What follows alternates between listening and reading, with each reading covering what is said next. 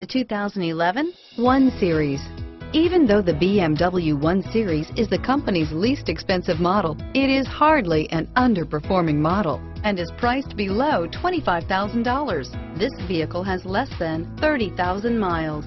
Searching for a dependable vehicle that looks great too? You found it, so stop in today.